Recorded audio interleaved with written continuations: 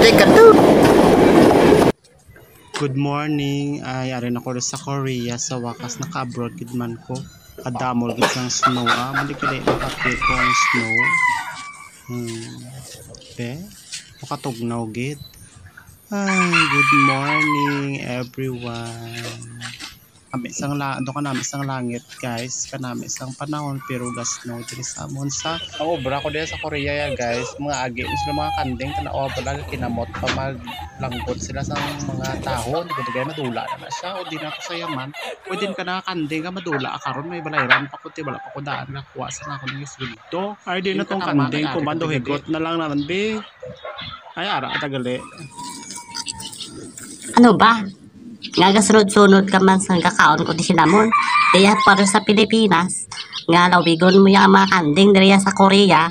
Sagdan mo lang kami magkaon di. Ano ka, manol?